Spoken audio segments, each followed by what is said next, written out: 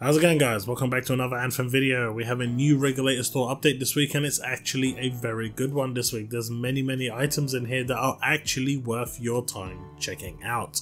So without further ado I want to get cracking into this and hopefully there'll be something here that's right for you. So first up we have the Retaliation of Goretus, not one of my favourite weapons and I probably completely and utterly ruined the pronunciation of that second word of the naming of this weapon, but but it is a decent machine pistol. It's not great, it's not something I would go for. I would use the slow rate of fire just really, really puts me off weapons like this. I prefer high rate of fire weapons. However, this one has a unique perk that may actually be to your liking.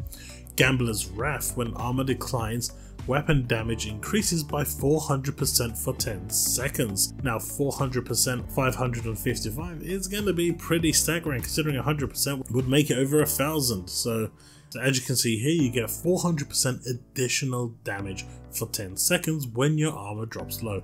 Now it needs to drop to 25% or below in order for this to activate.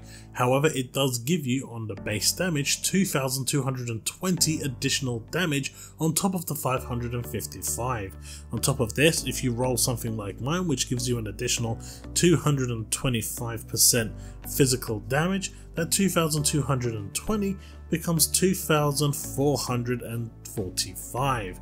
At the 5 becomes 50. At the 50 becomes 2500. At the 500 becomes 3000 damage. I know, right? Big brain. But it does require you to actually utilize this with low health, and we all know at GM3, if you're at that health, even a stray shot will take you down.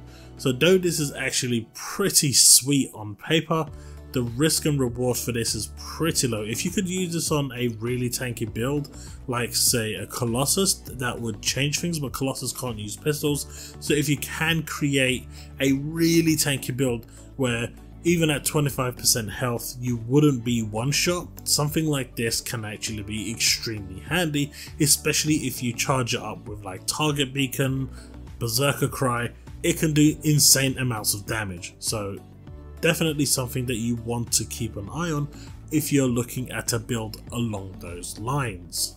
Outside of that, I personally wouldn't bother with this weapon, but then again, I'm a Colossus, so I don't need to, right? Next we have the bad boy, the Endless Siege. This is one of those weapons that everyone is looking for as a Colossus. It is pretty much the best auto cannon out there. Now as you can see from this, it has a 900 RPM, 609 damage. It's not the greatest damage, and the ammo at 400, you can imagine how fast this is going to empty. However, the masterwork perk for this is that the base magazine size is increased by 100% and base damage is increased by 100%. So that 600 base damage becomes 1200.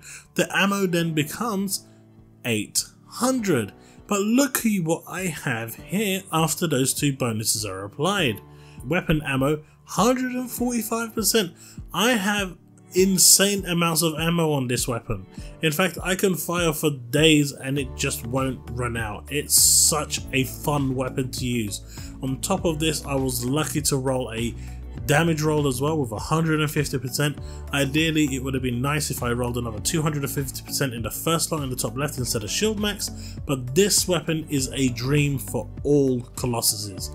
When it says Endless Siege, it really does mean it. It is completely and utterly endless. And if you can roll this with a plus weapon ammo, you're laughing because you will just sit there like commando and fire for days. Seriously, if you don't have this weapon, if you've been struggling to get this weapon, this weapon here is worth you investing your coins in. It is that good and I guarantee you, you will not regret it. Next we come to Ranger with the Relentless Pursuit. It's a legendary assault launcher.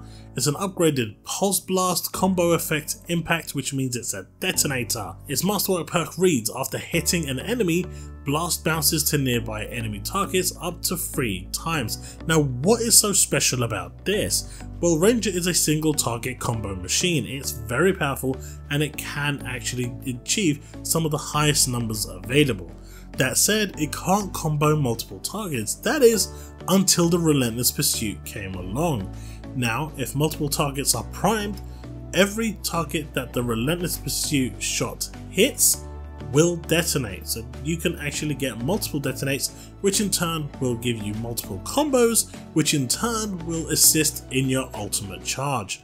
On top of this, you're going to be doing nice DPS. If you can combo all three of those hits, you're laughing. Your DPS is going to skyrocket and all from one shot.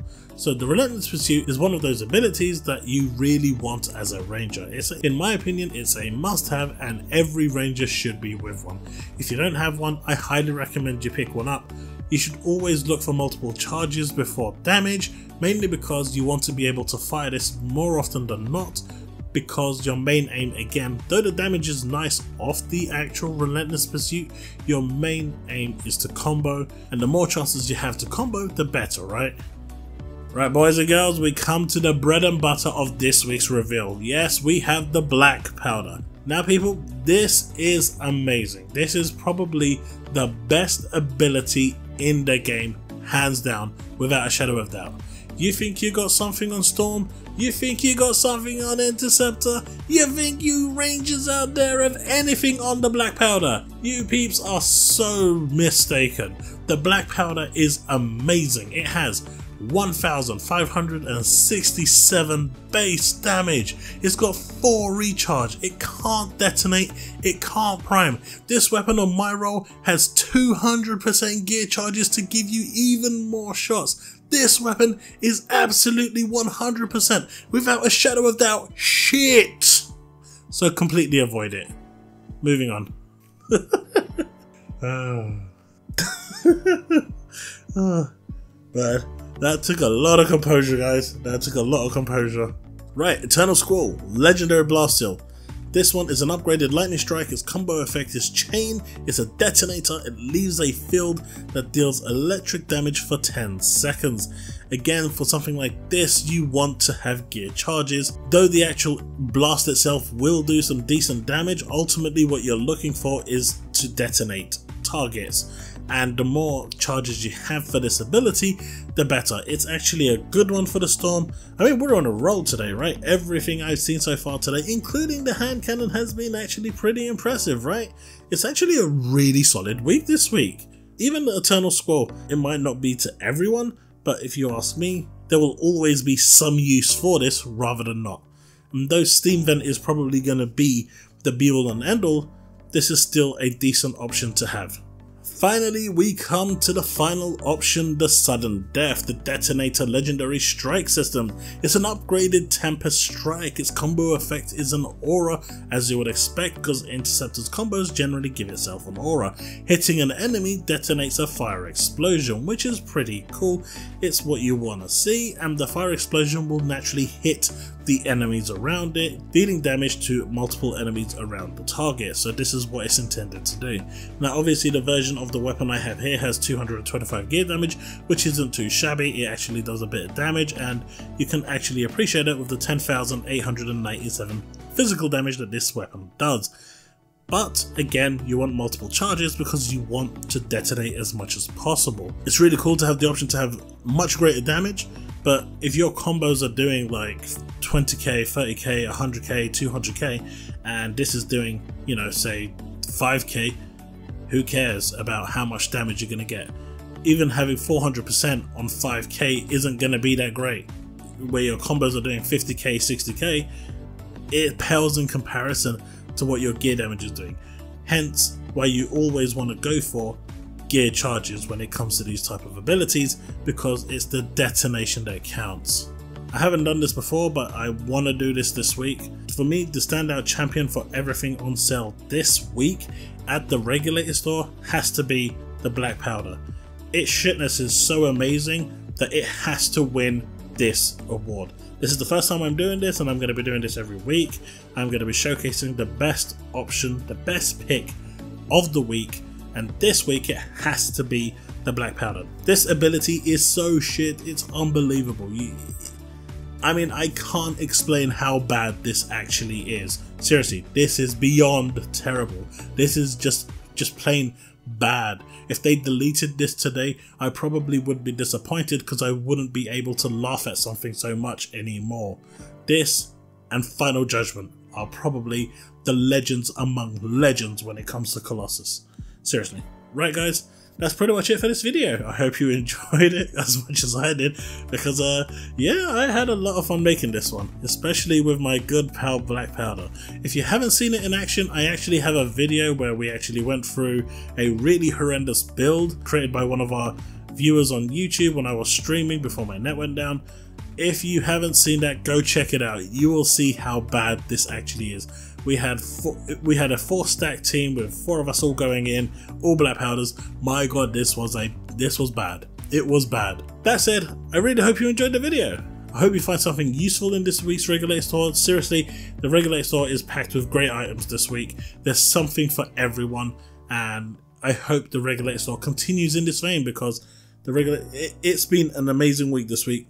This week's roster is pretty much grade A, especially with the black powder. You can't go wrong.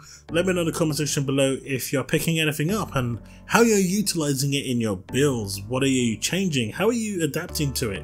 What is the component or the ability or the weapon doing to change your build style to benefit you? And if you have any cool plays, let me know. I'd love to be able to collect a few samples from the community that I can showcase at the end of the reveal. Full credit will be given to the person, so please include a name or a gamer tag and I will definitely give full credit.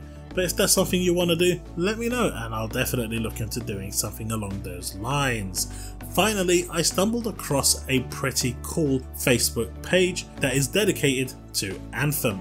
They are called Anthem Lovers and they do not tolerate trolls. So if that's something that you're looking for, a fun, safe place away from the Anthem hate, away from the Anthem trolls, definitely check out Anthem Lovers. I'll have a description to their Facebook and in the description below. So yeah, feel free to definitely check them out. That said, that's the end of the video guys. If you found this useful, drop a like, it does help the video get noticed. Don't forget to hit that red button if you're not yet subscribed doesn't cost you anything, but it does really help the channel grow. And don't forget to hit that bell next to that red button so you stay up to date of all content I release. Right freelancers, until the next video, remain legend. Thanks so much for watching my video. If you look over to the left, you'll find a video that I'm recommending to you that I think you might actually enjoy. On the right, you'll see a video that is recommended by YouTube. I really do hope you enjoyed the video and until the next one, remember to always remain legend.